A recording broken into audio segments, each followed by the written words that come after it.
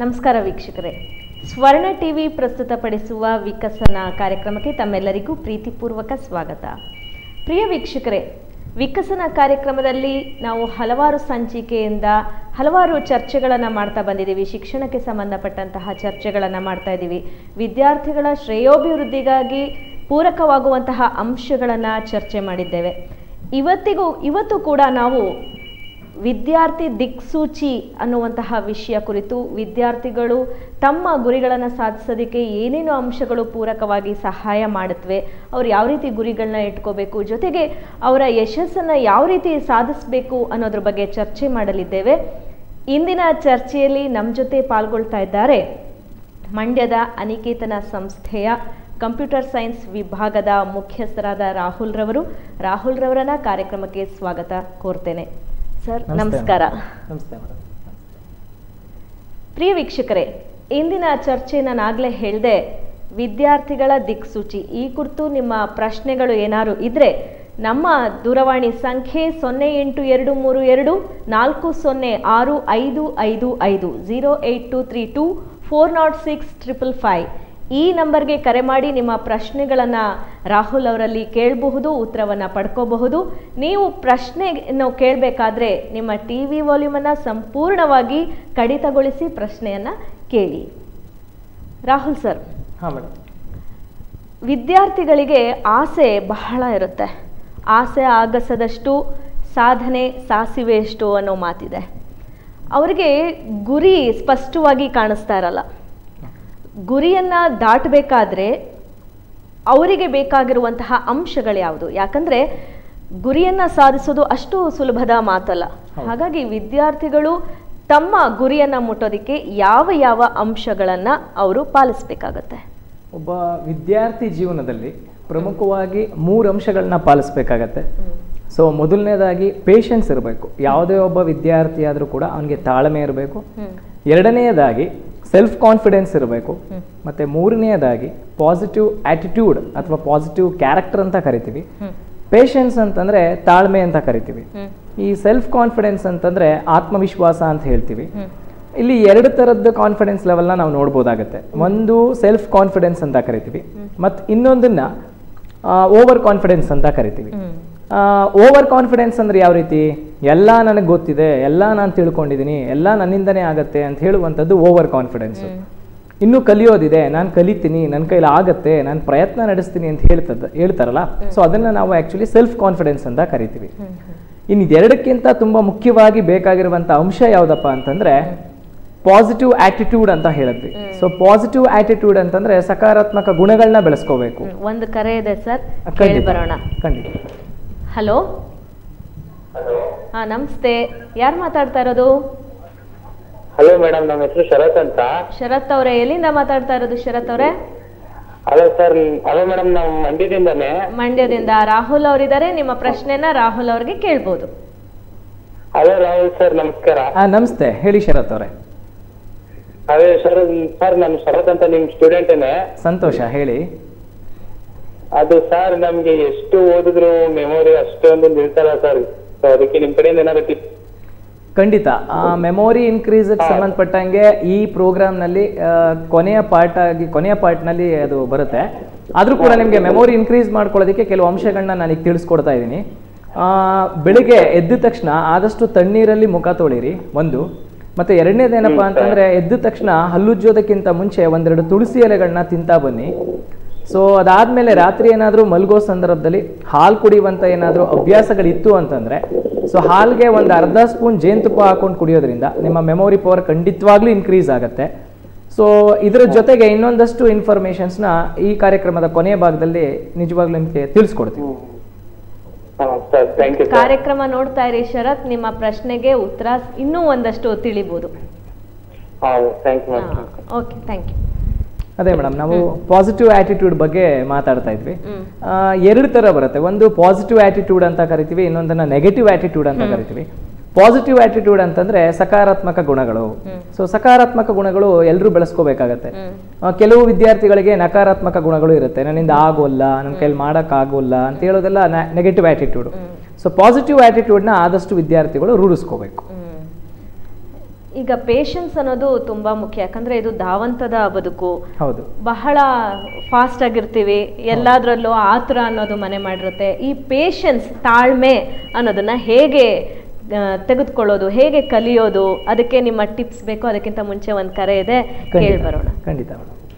Hello ನಮಸ್ತೆ ನಮಸ್ತೆ madam ನಿಮ್ಮ ಪ್ರಶ್ನೆ ಏನಿದ್ರು ರಾಹುಲ್ ಅವರಲ್ಲಿ ಕೇಳ್ಬೋದು. ಬರೀ ನನ್ ಮಗನ್ಗೆ ಬರೆಯಕ್ ಬರುತ್ತೆ. ಆದ್ರೆ ಅವನ್ಗೆ ವಿದ್ಯೆನೇ ಹತ್ತದಿಲ್ಲ ಮೇಡಮ್ ಹಾ. ಓಕೆ. ಬರೆಯೋಕ್ ಬರುತ್ತೆ. ಬರೆಯೋದಕ್ಕೆ ಬರುತ್ತೆ ತಲೆಗೆ ಹೋಗ್ತಿಲ್ಲ ಅಂತ ನೀವು ಹೇಳ್ತಿದ್ದೀರಾ? ಸೊ ವಿದ್ಯಾರ್ಥಿ ಆ, ಸ್ಕೂಲ್ಗೆ ಹೋಗಿ ಸಂಜೆ ಎಷ್ಟೊತ್ತಿಗೆ ಬರ್ತಾನೆ ಮನೆಗೆ ಎಷ್ಟೊತ್ತಿಗೆ ಬರ್ತಾ ಇದ್ದಾರೆ? ಅವನು ಇವಾಗ ಏಳನೇ ಕ್ಲಾಸ್ ಸರ್.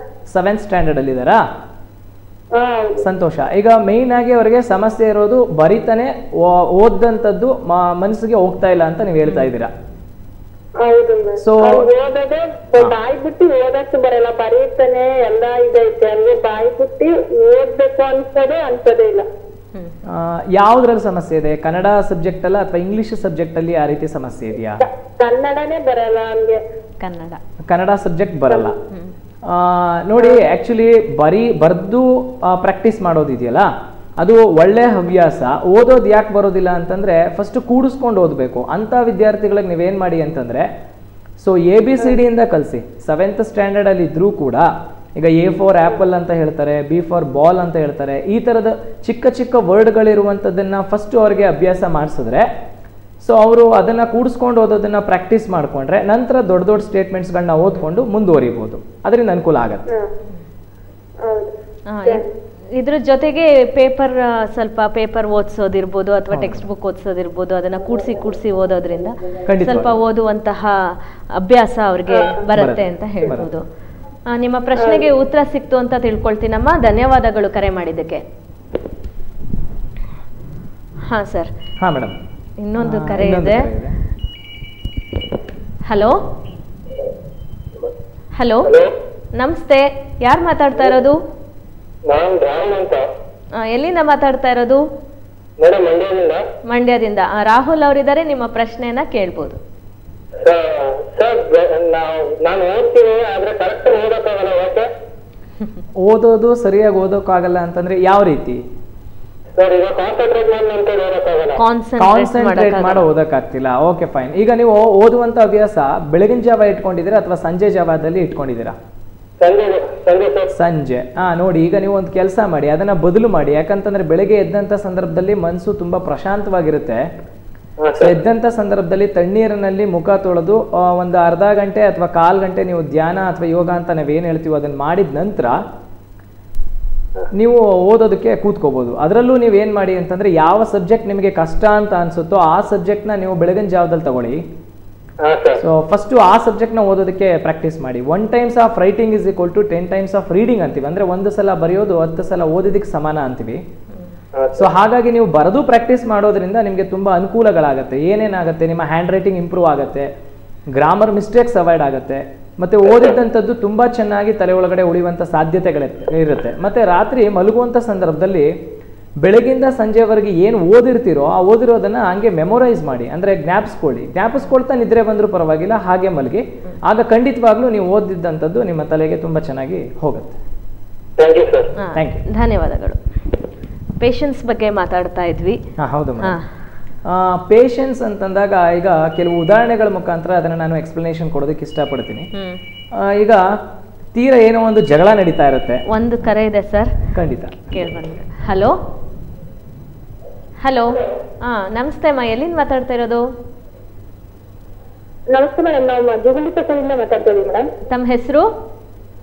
ನನ್ನ ಹೆಸರು ಅಂಬಿಕಾ ಅಂತ. ಅಂಬಿಕಾ. ಆ, ರಾಹುಲ್ ಅವರಿದ್ದಾರೆ ನಿಮ್ಮ ಪ್ರಶ್ನೆನ ಕೇಳ್ಬೋದು ನಮಸ್ತೆ ಸರ್. ಹಾ ನಮಸ್ತೆ ಮೇಡಮ್ ಹೇಳಿ ಮೇಡಮ್. ಸರ್ ನಮ್ ಸ್ಟೂಡೆಂಟ್ ಪೇರೆಂಟ್ ಮಾತಾಡ್ತಾ ಇರೋದು. ಓಕೆ.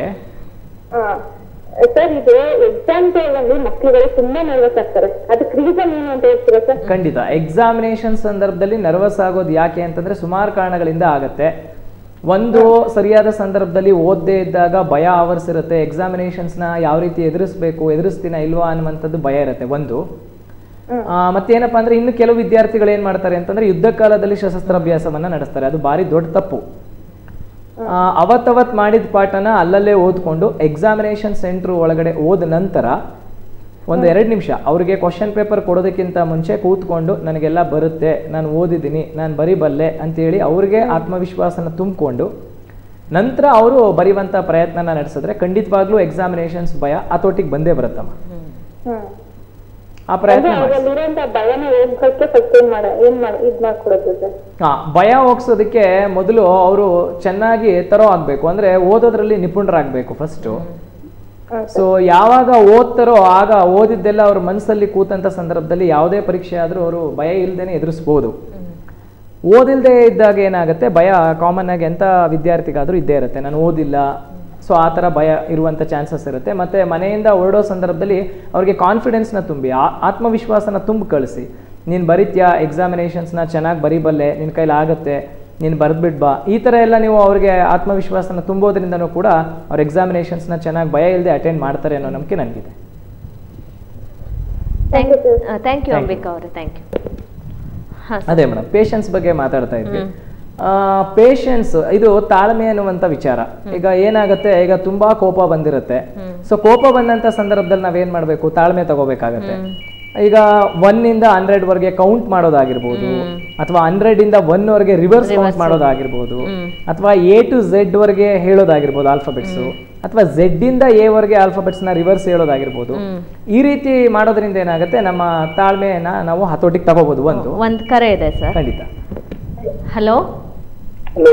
ನಮಸ್ತೆ. ಹಲೋ. ಹಲೋ ನಮಸ್ತೆ. ಯಾರು ಮಾತಾಡ್ತಾ ಇರೋದು? ಮಂಡ್ಯದಿಂದ ಸುಶಾಂತ್ ಅಂತ. ಆ, ನಿಮ್ಮ ಪ್ರಶ್ನೆ ಏನಿದ್ರು ರಾಹುಲ್ ಅವ್ರ ಹತ್ರ ಕೇಳ್ಬೋದು. ಹಲೋ ಸರ್ ಹಾ ನಮಸ್ತೆ. ಹೇಳಿ ಸರ್ ಸರ್ ನೈಟ್ ಎಲ್ಲ ಓದಿರ್ತೀವಿ ಸರ್ ಬೆಳಗ್ಗೆ ಎಕ್ಸಾಮ್ ಅಲ್ಲಿ ಬಂದು ಕುಂತು ಬರೀಬೇಕಾದ್ರೆ ಎಲ್ಲ ಮರ್ತೆ ಹೋಗುತ್ತೆ. ನೈಟ್ ಎಲ್ಲ ಓದ್ತೀರಾ? ಎಸ್ ಸರ್ ಒಂದ್ ಅರ್ಧ ಸರ್ ಪೂರ್ತಿ ಹತ್ತು ಗಂಟೆ ತನಕ ಓದಿರ್ತೀನಿ. ಬೆಳಗ್ಗೆನೆ ರಿವೈಸ್ ಮಾಡ್ಕೊಂಡಿರ್ತೀನಿ ಸರ್ ಎಲ್ಲ ಗ್ಯಾಪ್ನ ಇರುತ್ತೆ ಫ್ರೆಂಡ್ಸ್ ಕೇಳಿದ್ರೆ ಹೇಳ್ತೀನಿ. ಎಕ್ಸಾಮ್ ಅಲ್ಲಿ ಹೋಗಿ ಪೇಪರ್ ನೋಡಿದ ತಕ್ಷಣ ಎಲ್ಲ ಮರ್ತೆ ಸರ್. ಓ ಎಕ್ಸಾಮಿನೇಷನ್ ಕ್ವಶನ್ ಪೇಪರ್ ನೋಡಿದ ತಕ್ಷಣ ಮರ್ತು ಹೋಗುತ್ತೆ ಹೌದು ಸರ್. ಅಂದ್ರೆ ಅದು ನಿಮ್ಗೆ ಎಕ್ಸಾಮಿನೇಷನ್ಸ್ ಭಯ ಅಂತ ಆಯ್ತು. ಈಗ ವರ್ಷದಲ್ಲಿ ಮುನ್ನೂರ ಅರವತ್ತೈದು ದಿವಸ ಇದೆ ಹೌದಾ? ಈಗ. ಮುನ್ನೂರ ಅರವತ್ತೈದು ದಿವಸದನ್ನು ನೀವು ಓದಿದ್ದನ್ನ ಜ್ಞಾಪಕ ಇಟ್ಕೊಂಡು ಆರು ದಿವಸದಲ್ಲಿ ಪರೀಕ್ಷೆನ ಎದುರಿಸಬೇಕು ಅಂದ್ರೆ ಅಷ್ಟು ಸುಲಭದ ಮಾತಲ್ಲ. ಈಗ ಕೆಲವು ವಿದ್ಯಾರ್ಥಿಗಳಿಗೆ ನಾನು ಸಾಮಾನ್ಯವಾಗಿ ತರಗತಿಗಳಲ್ಲಿ ಏನ್ ಕೇಳ್ತೀನಿ ಇವತ್ತು ಬೆಳಿಗ್ಗೆ ತಿಂಡಿ ಏನ್ ತಿಂದ್ರಿ ಅಂತ ಕೇಳಿದಾಗಲೇ ಹೇಳುವಾಗ ಒಂದಷ್ಟು ಸಮಯನ ತಗೋತಾರೆ. ಅಂಥದ್ರಲ್ಲಿ ನೆನ್ನೆ ಬೆಳಗ್ಗೆ ಏನ್ ತಿಂದ್ರಿ ಅಂತ ಕೇಳಿದಾಗ ಇನ್ನೊಂದಷ್ಟು ಸಮಯ ತಗೋತಾರೆ. ಸೊ ನೆನ್ನೆ ಬೆಳಗ್ಗೆ ತಿಂಡಿ ತಿಂದಿದ್ದೇ ಜ್ಞಾಪಕ ಇಲ್ಲ ಇವತ್ತು ಬೆಳಗ್ಗೆ ತಿಂಡಿ ತಿಂದಿದ್ದೇ ಜ್ಞಾಪಕ ಇಲ್ಲ ಅಂತಂದಾಗ ಮುನ್ನೂರ ಅರವತ್ತೈದು ದಿವಸದಿಂದ ಓದಿದ್ದಂಥದ್ದನ್ನ ಆರು ದಿನದೊಳಗೆ ನಾವು ಎಕ್ಸಾಮಿನೇಷನ್ಸ್ ಬರಿಬೇಕು ಅಂತಂದ್ರೆ ನಮ್ಮ ಮೆಮೊರಿ ಪವರ್ ತುಂಬಾ ಚುರುಕಾಗಿರಬೇಕು. ಸೊ ಹಾಗಾಗಿ ನೀವು ಬೆಳಗ್ಗೆ ಸಮಯದಲ್ಲಿ ಆದಷ್ಟು ಓದೋದನ್ನ ಪ್ರಾಕ್ಟೀಸ್ ಮಾಡಿ. ಬೆಳಗ್ಗೆ ಅಂದ್ರೆ ಐದರಿಂದ ಆರು ಗಂಟೆ ಒಳಗಡೆ ನೀವು ಓದಿ. ಸೊ ಆ ರೀತಿ ಪ್ರಾಕ್ಟೀಸ್ ಮಾಡಿ ಮತ್ತೆ ರಾತ್ರಿ ಮಲಗೋ ಸಂದರ್ಭದಲ್ಲಿ ಅದನ್ನ ಮೆಮೊರೈಸ್ ಮಾಡಿ ಒಂದ್ಸತಿ. ಓಕೆ ಈ ಮ್ಯಾಥಮೆಟಿಕ್ಸ್ ಸಬ್ಜೆಕ್ಟ್ಸ್ಗಳೆಲ್ಲ ಏನು ಮಾಡ್ಬೇಕಂತಂದ್ರೆ ಕೆಲವು ಫಾರ್ಮುಲಾಸ್ಗಳೆಲ್ಲ ಇರುತ್ತೆ. ಅದನ್ನ ನೀವು ಚಿಕ್ಕ ಬುಕ್ ಇಟ್ಕೊಂಡು ಅದಕ್ಕೆ ಬರೆದುಕೊಂಡು ನಂತರ ನೀವು ಅದನ್ನ ಯಾವುದಾದ್ರೂ ಒಂದು ಸ್ಥಳಕ್ಕೆ ಹೋದಾಗ ಅಲ್ಲಿಗೂ ತಗೊಂಡೋಗಿ ರೆಫರ್ ಮಾಡೋದ್ರಿಂದ. ಸೊ ಯಾವ ಸಬ್ಜೆಕ್ಟ್ಸು ಕೂಡ ನಿಮಗೆ ಕಷ್ಟ ಅನ್ಸಲ್ಲ ಮತ್ತೆ ಎಕ್ಸಾಮಿನೇಷನ್ಸ್ ಫಿಯರ್ ಕೂಡ ಇರೋದಿಲ್ಲ. Okay sir thank you sir thank you thank you thank you so ಈಗ ನಮಗೆ ಅನ್ಸುತ್ತೆ ಈಗ ಪೇಷನ್ಸ್ ಅನ್ನುವಂಥ ವಿಚಾರ ಬಂದಾಗ ಈ ರೀತಿ ಆಲ್ಫಾಬೆಟ್ಸ್ನ ರಿವರ್ಸ್ ಕೌಂಟ್ ಮಾಡೋದ್ರಿಂದ ಆಗಿರ್ಬೋದು. ಆ, ಈಗ ರಸ್ತೆಲೆ ಯಾವುದೋ ಒಂದು ಜಗಳ ನಡೀತಿರುತ್ತೆ. ಸೊ ಜಗಳ ಆಡುವಾಗ ನಮಗೇನಂತ ಅನ್ಸುತ್ತೆ ಯಾವುದೋ ಒಬ್ಬ ವ್ಯಕ್ತಿ ಕೆಟ್ಟ ಕೆಟ್ಟ ಪದಗಳಿಂದ ಮಾತಾಡುವಂತ ಸಂದರ್ಭದಲ್ಲಿ ಆ ವ್ಯಕ್ತಿಗೆ ತಾಳ್ಮೆ ಇಲ್ಲ ಅಂತ ಅನ್ಸುತ್ತೆ. ಸೊ ಇನ್ನೊಬ್ಬ ವ್ಯಕ್ತಿ ತುಂಬಾ ಪ್ರಶಾಂತತೆಯಿಂದ ಇರ್ತಾರೆ. ಸೊ ಏನ್ ಮಾತಾಡ್ತಿದ್ದಾರೆ ಅನ್ನುವಂಥದ್ದನ್ನ ಪೂರ್ತಿ ಕೇಳಿಸ್ಕೊಂಡಾದ ನಂತರ ಅವ್ರು ಮಾತಾಡ್ತಿರ್ತಾರೆ. ಸೊ ನಮಗೆ ಯಾವ ಯಾವ ರೀತಿ ಅಂತ ಅನ್ಸುತ್ತೆ ಅದು? ಸೊ ತುಂಬಾ ಕೆಟ್ಟದಾಗಿ ಮಾತಾಡ್ತಿರುವಂತ ವ್ಯಕ್ತಿ ಕೆಟ್ಟವನು ಅಂತ ಅನ್ಸುತ್ತೆ. ತುಂಬಾ ಶಾಂತಿಯಿಂದ ಇದ್ದಂತ ವ್ಯಕ್ತಿ ಒಳ್ಳೆಯವರು ಅಂತ ಅನ್ಸುವಂತ ಒಂದ್ ಕರೆ ಇದೆ. ಬರುತ್ತೆ. ಹಾ. ಹಲೋ? ಹಾ ನಮಸ್ತೆ ಸರ್. ನಮಸ್ತೆ ನಾನು ಅನುಗೌಡ ಅಂತ. ಹಾಂ ಎಲ್ಲಿಂದ ಮಾತಾಡ್ತಾ ಇರೋದು? ಮಂಡ್ಯ. ಆ, ಮಂಡ್ಯ. ರಾಹುಲ್ ಅವರಿದ್ದಾರೆ ಮಾತಾಡ್ಬೋದು. Sir hello sir. ಸರ್ ನಮಸ್ತೆ ಹೇಳಿ. ಓದಿರೋದು ಸರ್. ಖಂಡಿತ ಎಲ್ಲಾ ವಿದ್ಯಾರ್ಥಿಗಳ ಸಮಸ್ಯೆ ಇದೇ ಆಗ್ತಾ ಇದೆ ಓದಿರೋದು ನೆನಪಿಲ್ಲ ಅಂತ ಹೇಳ್ತಾ ಇದ್ದಾರೆ. ಸೊ ಓದಿದ ನಂತರ ಎಷ್ಟು ಸಲ ಬರೆದು ಪ್ರಾಕ್ಟೀಸ್ ಮಾಡ್ತಿದ್ದೀರಾ? ಅದನ್ನ ಸ್ವಲ್ಪ ಸಮಯ ಈಗ ಜಾಸ್ತಿ ಮಾಡಿ ಯಾಕಂತಂದ್ರೆ ಸೊ ಬರೆಯೋದ್ರಿಂದ ನಮಗೆ ಏನೇನು ಅನುಕೂಲಗಳಾಗುತ್ತೆ ಅನ್ನುವಂಥದ್ದನ್ನ ಈಗ ಆಲ್ರೆಡಿ ಕಾಲ್ ಮಾಡಿದವ್ರ ಜೊತೆ ಡಿಸ್ಕಸ್ ಮಾಡಿದೆ ತಮಗೂ ಕೂಡ ಅದನ್ನು ಮತ್ತೊಮ್ಮೆ ತಿಳಿಸ್ಕೊಡ್ತಾ ಇದ್ದೀನಿ. ಸೊ ತಮ್ಮ ಹ್ಯಾಂಡ್ ರೈಟಿಂಗ್ ಏನಾದರೂ ಚೆನ್ನಾಗಿಲ್ಲ ಅಂದರೆ ಇಂಪ್ರೂವ್ ಆಗುತ್ತೆ. ಮತ್ತೆ ಓದಿದಂಥದ್ದನ್ನು ನೀವು ಎರಡು ಮೂರು ಸತಿ ಬರೆಯೋದ್ರ ಬದಲಿಗೆ ನಾಲ್ಕರಿಂದ ಒಂದು ಐದಾರು ಬಾರಿ ಬರೆದು ಪ್ರಾಕ್ಟೀಸ್ ಮಾಡಿ. ನಿಮ್ಗೆ ಎಲ್ಲಿವರೆಗೂ ಬರೋದಿಲ್ವೋ, ಸತತವಾಗಿ ಪ್ರಯತ್ನನ ನಡೆಸಿ ಬರಿ, ಬರೆದ್ರೆ ನಿಮ್ಮ ಹ್ಯಾಂಡ್ ರೈಟಿಂಗ್ ಇಂಪ್ರೂವ್ ಆಗೋದ್ರ ಜೊತೆಗೆ ನಿಮ್ಮ ಮೆಮೊರಿ ಪವರ್ ಕೂಡ ಇನ್ಕ್ರೀಸ್ ಆಗುತ್ತೆ, ಮತ್ತು ಗ್ರಾಮರ್ ಮಿಸ್ಟೇಕ್ಸ್ ಕೂಡ ಅವಾಯ್ಡ್ ಆಗುತ್ತೆ. ಸೊ ಈ ರೀತಿ ನೀವು ಪ್ರಾಕ್ಟೀಸನ್ನು ಮಾಡೋದ್ರಿಂದ ನಿಮ್ಮ ಹ್ಯಾಂಡ್ ರೈಟಿಂಗ್ ಜೊತೆಗೆ ನೀವು ಓದಿದ್ದೆಲ್ಲನೂ ಕೂಡ ನೀವು ಜ್ಞಾಪಕ ಇಟ್ಕೋಬೋದು ಒಂದು. ಈಗ ಕೆಲವು ವಿಷಯಗಳನ್ನ ಏನು ಮಾಡಿ ಅಂತಂದರೆ ಒಂದು ಚಿಕ್ಕದಾಗಿರುವಂಥ ಪುಸ್ತಕನ ಇಟ್ಕೊಂಡು ಆ ಪುಸ್ತಕದ ಒಳಗಡೆ ಎಲ್ಲನೂ ಬರೆದು ಇಟ್ಕೊಳ್ಳಿ. ನೀವು ಯಾವುದೇ ಒಂದು ಪ ಸ್ಥಳಗಳಿಗೆ ಹೋದಾಗಲೂ ಕೂಡ ಆ ಪುಸ್ತಕನ ತೆಗೆದು ಅಲ್ಲಿ ನೀವು ಮೆಮೊರೈಸ್ ಮಾಡೋದ್ರಿಂದ ನಿಮಗೆ ತುಂಬ ಚೆನ್ನಾಗಿ ತಲೆ ಒಳಗಡೆ ಉಳ್ಕೊಳ್ಳುತ್ತೆ yes sir thank you thank you sir okay okay sir ಮಧ್ಯ ನಾನು ಈ ಸ್ಟೂಡೆಂಟ್ಸ್ ಮೆಮೊರಿ ಪವರ್ ಬಗ್ಗೆ ಮಾತಾಡ್ತಾ ಇದ್ರಿಂದ ನಾನು ಒಂದು ಪ್ರಶ್ನೆ ಕೇಳ್ತೀನಿ ಈ ಮೆಮೊರಿ ಇಂಪ್ರೂವ್ ಮಾಡ್ಕೊಳ್ಳೋಕೆ ಪಿಕ್ಚರೈಸೇಷನ್ ಅನ್ನೋದು ಏನಾದರೂ ಸಹಾಯ ಮಾಡುತ್ತಾ? ಖಂಡಿತವಾಗ್ಲು. ಖಂಡಿತವಾಗ್ಲು. ಕೆಲವು ವಿಡಿಯೋಸ್ಗಳನ್ನ ನೋಡೋದ್ರ ಮುಖಾಂತರನೂ ಕೂಡ ಅವರ ಮೆಮೊರಿ ಪವರ್ ಇನ್ಕ್ರೀಸ್ ಆಗುವಂತ ಚಾನ್ಸಸ್ ಇರುತ್ತೆ. ಆ, ಈಗ ಕೆಲವು ಸಂಸ್ಥೆಗಳಲ್ಲಿ ಯಾವ ರೀತಿ ಅಂತಂದ್ರೆ ಕೆಲವು ಪಾಠಗಳು ಮುಗಿದ ನಂತರ ವಿಡಿಯೋಸ್ ಮುಖಾಂತರ ಅವರಿಗೆ ಪ್ರತಿಯೊಂದನ್ನು ತೋರಿಸ್ಕೊಡ್ತಾರೆ. ಯಾಕೆ ಪಾಠ ಪ್ರವಚನಗಳ ಮುಖಾಂತರ ಆದ ನಂತರ ವಿಡಿಯೋಸ್ ಮುಖಾಂತರ ತೋರಿಸಿದ್ರೆ ಏನಾಗುತ್ತೆ? ಈಗ ಸರ್ವೇ ಸಾಮಾನ್ಯ ಯಾವುದೇ ಒಬ್ಬ ವಿದ್ಯಾರ್ಥಿ ಚಿತ್ರಮಂದಿರಕ್ಕೆ ಹೋಗಿ ಆ ಚಿತ್ರ ನೋಡ್ಕೊಂಡು ಬಂದಾಗ ಅದರ ಸನ್ನಿವೇಶ ಕೇಳಿದಾಗ ಚಾಚು ತಪ್ಪದೆ. ಪ್ರತಿಯೊಂದನ್ನು ಹೇಳ್ತಾರೆ. ಹೌದು. ಸೊ ಅದೇ ರೀತಿ ಪಠ್ಯಕ್ರಮದ ವಿಚಾರದಲ್ಲೂ ಕೂಡ ಆ ರೀತಿ ಅವ್ರಿಗೆ ಮಾಡೋದ್ರಿಂದ ಅದು ತುಂಬಾ ಚೆನ್ನಾಗಿ ಅವರ ಮನಸ್ಸಿನಲ್ಲಿ ಉಳ್ಕೊಳ್ಳುತ್ತೆ ಅಂತ ನನ್ನ ಒಂದು ಅನಿಸಿಕೆ. ಅದು ನಿಜವಾದಂತ ಮಾತು. ಒಂದು ಕರೆ ಇದೆ ಸರ್. ಓಕೆ. ಹಲೋ? ಹಲೋ? ನಮಸ್ತೆ. ನಮಸ್ತೆ ಮೇಡಮ್ ಯಾರು ಮಾತಾಡ್ತಾ ಇರೋದು? ನಾವು ಮಂಡ್ಯದಿಂದ ಪ್ರಜ್ವಲ್. ಪ್ರಜ್ವಲ್. ಹ್ಮ್, ಪ್ರಜ್ವಲ್ ನಿಮ್ಮ ಪ್ರಶ್ನೆ ಏನಿದ್ರು ರಾಹುಲ್ ಅವ್ರ ಹತ್ರ ಕೇಳ್ಬೋದು. ಪ್ರಜ್ವಲ್ ಅವರೇ ಹೇಳಿ. ಹಲೋ? ಏನೋ ಡಿಸ್ಟರ್ಬೆನ್ಸ್ ಇದೆ. ಹಾ. ಆ, ಅದೇ ಪಿಕ್ಚರೈಸೇಷನ್ ಬಗ್ಗೆ ಮಾತಾಡ್ತಾ ಇದ್ವಿ. ಹೌದು ಮೇಡಮ್. ಕೆಲವು ಪಾಠಗಳು ಮುಗಿದ ನಂತರ ವಿಡಿಯೋಸ್ ಮುಖಾಂತರ ಹುಡುಗರಿಗೆ ತೋರಿಸೋದ್ರಿಂದ ಖಂಡಿತವಾಗ್ಲೂ ಅದು ಮನಸ್ಸಿಗೆ ಹೋಗುತ್ತೆ. ಸೊ ಪಿಕ್ಚರ್ಸ್ಗಳ ಮುಖಾಂತರ ವಿಡಿಯೋಸ್ಗಳ ಮುಖಾಂತರ ಪಾಠ ಮಾಡುವಂತದ್ದು ಈಗ ಒಂದು ಅಡ್ವಾನ್ಸ್ಡ್ ಮೆಥಡ್ ಆಗಿದೆ. ಖಂಡಿತವಾಗ್ಲೂ ಆ ರೀತಿ ಉಪಯೋಗಿಸ್ಕೊಳ್ಳೋದ್ರಿಂದ ವಿದ್ಯಾರ್ಥಿಗಳಿಗೆ ಮನಸ್ಸಿಗೆ ತುಂಬಾ ಚೆನ್ನಾಗಿ ಪಾಠ ಹೋಗುತ್ತೆ ಅಂತ ನನ್ನೊಂದು ಅನಿಸಿಕೆ. ಅನ್ಸಿಕೆ. ಅನ್ಸಿಕೆ. ಹಲೋ? ಹಲೋ? ಹಲೋ? ಹಲೋ? ನಮಸ್ತೆ ಮಾ ತಮ್ಮ ಹೆಸರು? ಹಲೋ? ಹಾ ಮಾ ತಮ್ಮ ಹೆಸರು ಎಲ್ಲಿಂದ ಮಾತಾಡ್ತಿದ್ದೀರಾ? ಹಲೋ? ನಿಮ್ಮ ಟಿವಿ ವಾಲ್ಯೂಮ್ ಅನ್ನ ನಿಮ್ಮ ಟಿವಿ ವಾಲ್ಯೂಮ್ ಅನ್ನ ಮ್ಯೂಟ್ ಮಾಡಿ ಮಾತಾಡಿ. ಏನೋ ಡಿಸ್ಟರ್ಬೆನ್ಸ್. ವೀಕ್ಷಕರೇ ನೀವು ಕರೆ ಮಾಡುವಾಗ ದಯವಿಟ್ಟು ನಿಮ್ಮ ಟಿ ವಿ ವಾಲ್ಯೂಮನ್ನು ಮ್ಯೂಟ್ ಮಾಡಿ ಇಲ್ಲಾಂದರೆ ನೀವು ಕೇಳುವಂತಹ ಪ್ರಶ್ನೆ ನಮಗೆ ಅರ್ಥ ಆಗೋಲ್ಲ ನಾವು ಹೇಳುವಂಥ ಉತ್ತರ ನಿಮಗೂ ಅರ್ಥ ಆಗಲ್ಲ. ಹಾಗಾಗಿ ಟಿ ವಿ ವಾಲ್ಯೂಮನ್ನು ಮ್ಯೂಟ್ ಮಾಡಿ ನಿಮ್ಮ ಪ್ರಶ್ನೆಯನ್ನು ಕೇಳಿ. ಒಂದು ಕರೆ ಇದೆ. ಹಲೋ? ಹಲೋ? ಹಾಂ ನಮಸ್ತೆ ಸರ್. ಹಲೋ ನಮಸ್ತೆ ನಾನು ಅಶೋಕ್ ಅಂತ ಹೇಳಿ ಮಂಡ್ಯದಿಂದ. ಅಶೋಕ್ ಅಂತ ಮಂಡ್ಯದಿಂದ. ರಾಹುಲ್ ಅವರಿದ್ದಾರೆ ನಿಮ್ಮ ಪ್ರಶ್ನೆಯನ್ನ ಕೇಳ್ಬೋದು ಸರ್ ಹಾ ಥ್ಯಾಂಕ್ ಯು ಮೇಡಮ್ ಹಾಂ ಸರ್ ಹೇಳಿ. ಸರ್ ಹಾ ಸರ್ ಹೇಳಿ ಸರ್ ಹಲೋ ಹಾ ಗುಡ್ ಈವ್ನಿಂಗ್ ಹೇಳಿ ಸರ್ ಹೇಳಿ ಸರ್ ಹಾ ಸಂತೋಷ. ಹೇಳಿ ಸರ್ ಹೇಳಿ ಸರ್ ಸರ್ ಈಗ ಮನೆಯಲ್ಲಿ ಓದುವಾಗ ಊಟ ತಿಂಡಿ ಬಿಟ್ಬಿಟ್ಟು ಓದ್ತಾಳೆ. ಇದು ಸರಿನಾ? ಅದು ತಪ್ಪಿನ ಹವ್ಯಾಸ ಸರ್ ಊಟ ತಿಂಡಿ ಬಿಟ್ರೆ ಎನರ್ಜಿ ಬರೋದು ಯಾವ ರೀತಿ? ಅಂದ್ರೆ ಅದರಲ್ಲಿ ಕೆಲವು ಕ್ರಮಗಳಿದೆ. ಈಗ ನಾವು ಏನು ಸಂಜೆ ಹೊತ್ತಿಗೆ ನೀವು ಸ್ನ್ಯಾಕ್ಸ್ ಅಂತ ಕೊಡ್ತೀರೋ ಈಗ ಸ್ನ್ಯಾಕ್ಸ್ ಅಲ್ಲೆಲ್ಲ ಬೇರೆ ಬೇರೆ ರೀತಿ ಜಂಕ್ ಫುಡ್ಸ್ ಎಲ್ಲ ಬಂದಿದೆ. ಆ ತರದ ಜಂಕ್ ಫುಡ್ಸ್ ಗಳನ್ನ ಅವಾಯ್ಡ್ ಮಾಡಿಸಿ. ಸೊ ಊಟ ತಿಂಡಿನ ಸರಿಯಾದ ಸಮಯಕ್ಕೆ ಮಾಡಲೇಬೇಕು. ಈಗ ನಮ್ಮಲ್ಲಿ ಏನು ಕ್ರಮ ಇದೆಯೋ ಬೆಳಗ್ಗೆ ಏನು ತಿಂಡಿ ಮಾಡಬೇಕು ಮಧ್ಯಾಹ್ನ ಊಟ ಮಾಡಬೇಕು ಮತ್ತೆ ರಾತ್ರಿ ಮಲಗುವಾಗ ಲಘು ಉಪಹಾರ ಅಂತ ಏನು ಕರಿತೀವೋ ಅದನ್ನ ಸಾಮಾನ್ಯವಾಗಿ ನಾವು ಪಾಲಿಸ್ಕೊಂಡು ಬರಲೇಬೇಕು. ನಾವು ಊಟನ ಬಿಟ್ಟು ಓದೋದಾದ್ರೆ ಅದರಿಂದನೂ ಕೂಡ ಮೆಮೊರಿ ಪವರ್ ಡಿಕ್ರೀಸ್ ಆಗುವಂತ ಸಾಧ್ಯತೆಗಳಿರುತ್ತೆ. ಸೊ ಹಾಗಾಗಿ ಹೇಳಿ ಊಟ ಬಿಟ್ಟು ಓದೋದು ಒಳ್ಳೆಯ ಹವ್ಯಾಸ ಅಲ್ಲ. ಊರಿದ ಮೇಲೆ ಎಂಟರ್ಟೈನಿಂಗ್ ಮಾಡ್ತೀನಿ ಅಂತ ನಾನು ಎಷ್ಟು ಬಂದು ಕೇಳಲ್ಲ. ಅದಕ್ಕೆ ನಾನೀಗ ಬಾಗಿಲಿಂದ ಟ್ರೈ ಮಾಡಿ ಈಗ ಫೋನ್ ಕಾಂಟ್ಯಾಕ್ಟ್ ಆಯ್ತು ನೋಡಿ okay okay. Santhosh. Okay right thank you thank you very much okay okay okay ಅದೇ ಮೇಡಮ್. ಪೇಷನ್ಸ್ ಬಗ್ಗೆ ಮಾತಾಡ್ತಾ. ಇದ್ವಿ. ಅಮೆರಿಕದಲ್ಲಿ ಒಂದು ಎರಡು ವರ್ಷದ ಹಿಂದೆ ಒಂದು ಇನ್ಸಿಡೆಂಟ್ ನಡೆಯುತ್ತೆ. ಏನದು? ಒಬ್ಬ ವ್ಯಕ್ತಿ ಸುಮಾರು ವರ್ಷಗಳಿಂದ ಒಂದು ಒಳ್ಳೆ ಕಾರ್ನ ಪರ್ಚೇಸ್ ಮಾಡಬೇಕು ಅಂತೇಳಿ ಕಷ್ಟಪಟ್ಟು ಒಂದಷ್ಟು ದುಡ್ಡನ್ನ ಕೂಡಿಸ್ಕೊಂಡಿರ್ತಾನೆ. ಮದುವೆ ಆಗತ್ತೆ. ಒಂದು ಮಗು ಕೂಡ ಆಗತ್ತೆ. ಒಂದು ನಾಲ್ಕರಿಂದ ಐದು ವರ್ಷದ ಮಗು ಇರುತ್ತೆ. ಸೊ ಅವನ ಜೀವನವೆಲ್ಲ ದುಡ್ದಿರೋದು ಆ ಕಾರ್ಗೋಸ್ಕರನೇ. ಯಾಕಂದ್ರೆ ತುಂಬಾ ಆಸೆ ಇತ್ತು ಅವನಿಗೆ ಕಾರ್ ತಗೋಬೇಕು ಅಂತ ಹೇಳಿ. ಸೊ ಏನಾಗತ್ತೆ? ಒಂದು ದಿವಸ ಇವನು ಯಾವುದೋ ಒಂದು ಪ್ರೋಗ್ರಾಮ್ಗೆ ಹೊರಗಡೆ ಹೋಗಬೇಕಾದಂತ ಸಂದರ್ಭದಲ್ಲಿ ಕಾರನ್ನ ತೊಳಿತಾ ನಿಂತಿರುವಾಗ ಅಂದ್ರೆ ವಾಶ್ ಮಾಡ್ತಿರುವಂತ ಸಂದರ್ಭದಲ್ಲಿ ಮಗು ಏನ್ ಮಾಡುತ್ತೆ? ಒಂದು ಚಿಕ್ಕ ಸ್ಪ್ಯಾನರ್ ತಗೊಂಡು ಕಾರ್ ಮೇಲೆ ಗೀಚ್ತಾ ಇರುತ್ತೆ. ಸೊ ತಂದೆಗೆ ಕೋಪ ಬಂದು ಆ ಸ್ಪ್ಯಾನರ್ ಇಂದ ತುಂಬಾ ಬಲವಾಗಿ ಒಡೆದು ಬಿಡ್ತಾನೆ. ಸೊ ಒಡೆದಂತ ಸಂದರ್ಭದಲ್ಲಿ ಏನಾಗುತ್ತೆ? ಆ ಮಗುನ ಕರ್ಕೊಂಡು ಗಂಡ ಹೆಂಡತಿ ಇಬ್ರು ಹಾಸ್ಪಿಟ್ಲ್ಗೆ ಹೋಗ್ತಾರೆ. ಹಾಸ್ಪಿಟ್ಲ್ ಅಲ್ಲಿ ಹೇಳ್ತಾರೆ ನೀವು ಹೊಡೆದಿರೋ ಹೇಟ್ಗೆ ಮಗುಗೆ ಒಳಗಡೆ ಕೈ ಮೂಳೆ ಎಲ್ಲ ಪುಡಿ ಪುಡಿ ಆಗಿದೆ. ಸೊ ಇನ್ನು ಕೈ ಬರೋದು ತುಂಬಾ ಕಷ್ಟ ಈ ಮಗುಗೆ ಅಂತ ಹೇಳಿದಾಗ ತಂದೆ ತುಂಬಾ ಗೊಳೋ ಅಂತ ಹತ್ಕೊಂಡು ಬಂದು ಕಾರ್ ಹತ್ರ ಬಂದು ನೋಡಿದಾಗ ಆ ಮಗು ಕಾರ್ ಮೇಲೆ ಐ ಲವ್ ಯು ಡ್ಯಾಡ್ ಅಂತ ಸ್ಕ್ರಾಚ್ ಮಾಡಿರತ್ತೆ. ಸೊ ಸ್ವಲ್ಪ ತಾಳ್ಮೆಯಿಂದ ಅವರ ತಂದೆ ಅದನ್ನ ಗಮನಿಸಿದ್ದೇ ಆಗಿದ್ದಿದ್ರೆ ಸೊ ಈ ಅವಘಡ ನಡೀತಿರ್ಲಿಲ್ಲ. ಸೊ ಹಾಗಾಗಿ ಪ್ರತಿಯೊಬ್ಬ ಮನುಷ್ಯನಿಗೆ ತಾಳ್ಮೆ ಅನ್ನುವಂಥದ್ದು ಮುಖ್ಯವಾದಂತ ಅಂಶ. ಸೊ ದಯವಿಟ್ಟು ಪ್ರತಿಯೊಬ್ರು ಬರೀ ವಿದ್ಯಾರ್ಥಿ ಒಬ್ಬರೇ ಅಲ್ಲ ಯಾರೇ ಆದ್ರೂ ಕೂಡ ಜೀವನದಲ್ಲಿ ತಾಳ್ಮೆಯಿಂದ ಇರೋದು ಬಾರಿ ಒಳ್ಳೆಯ ಹೌದು ಅತಿ ಮುಖ್ಯ ಒಂದು ಕಾಲ್ ಇದೆ ಸರ್ ಖಂಡಿತ.